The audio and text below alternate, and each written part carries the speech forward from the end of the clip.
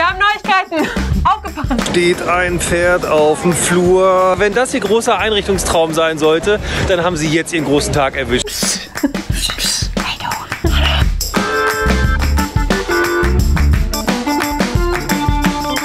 Ihr Lieben, wir sind zurück mit einer neuen Folge unserer Webshow und haben auch gleich super gute Neuigkeiten für euch. Daniel Boschmann ist wieder da und moderiert das erste Mal wieder mit Marlene Lufen nächste Woche. Aber wir haben uns gedacht, Daniel war eine Weile nicht da. Ist er überhaupt noch fit?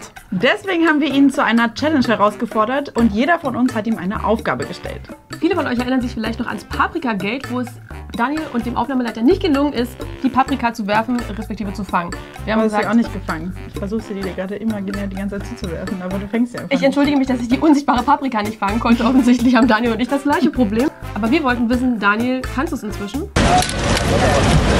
War nicht die Aufgabe, die Paprika rumzufahren. Das machen wir gleich nochmal.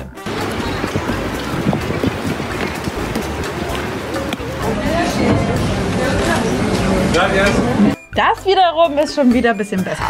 Also Na ich bin- gut, das lassen wir durchgehen, Ich oder? bin Paprika-optimistisch. Schon wieder nicht. Darf ich da was? Zeitlupe. Kommen wir zur nächsten Aufgabe.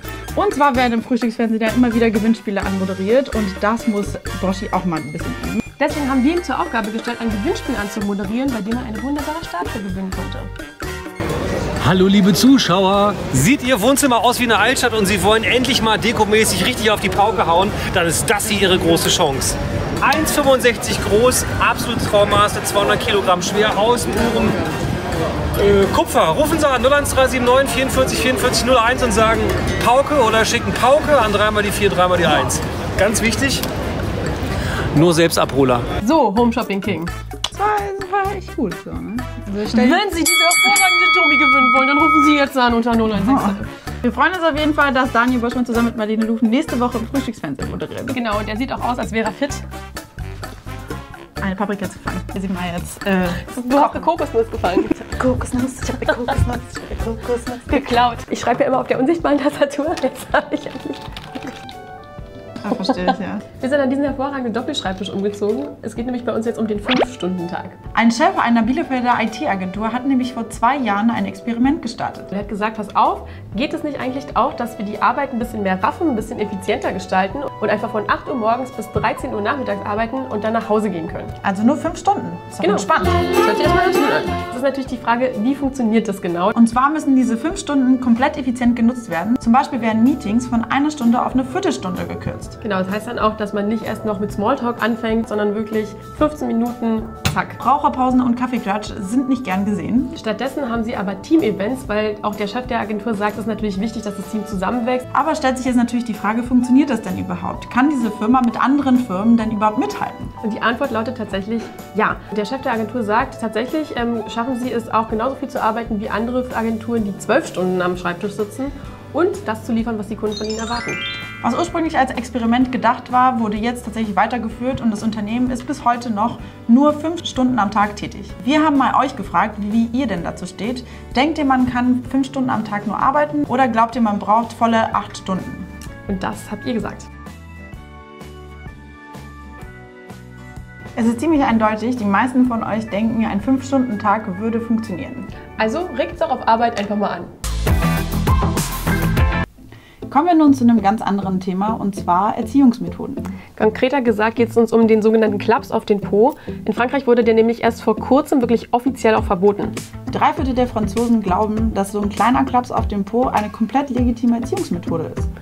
Allerdings ist es auch so, dass das in Frankreich jetzt zwar verboten wurde, allerdings immer noch nicht bestraft, wenn dann den Eltern tatsächlich doch nochmal die Hand ausrutscht.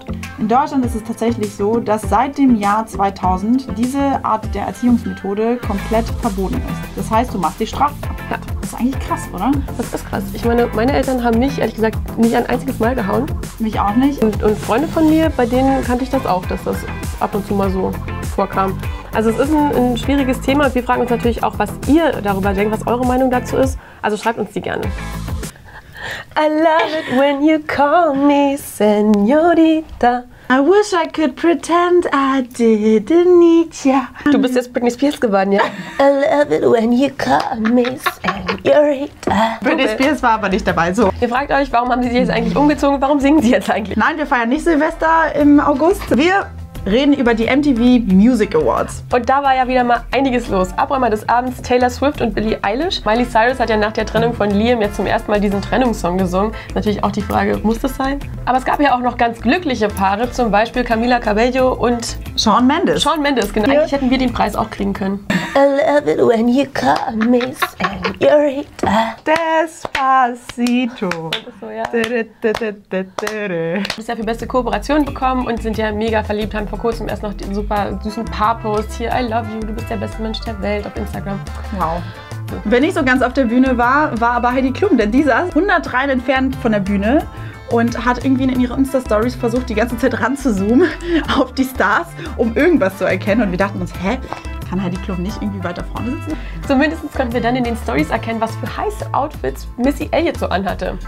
Unter anderem ein Müllsack. Kann man machen. Ja. Muss man nicht. Aber sch- schick halt. So ähnlich siehst ja du auch aus. Was? Nur ohne Müllsack. Ganz schwach. Du meinst Trash? Und apropos äh, komische Outfits, richtig viel Ärger auf Social Media gab es ja für zwei Mädels, die mit echten Schlangen aufgetreten sind. Ganz la Britney Spears, die es ja schon vorgemacht hat vor ein Ja. paar Jahren. Wir haben hier natürlich nur eine Attrappe, Nee, weil wir sind richtig rum. Gegen Tierquälerei. Unter diesem Instagram-Post sieht man, die meisten User haben das überhaupt nicht gefeiert und haben eher drunter geschrieben, wie man sowas einer Schlange antun kann. Genau, Tiere sind halt keine Accessoires und ist, ist, das ihr, ganz- ist das ihr Ernst? Und ich finde, guck mal, oder? Ja, vor allem, wie sie sich so an deine Brust dran macht. Geht viel so. Und damit verabschieden wir uns auch. Genau, das waren unsere Highlights der MTV Music Awards.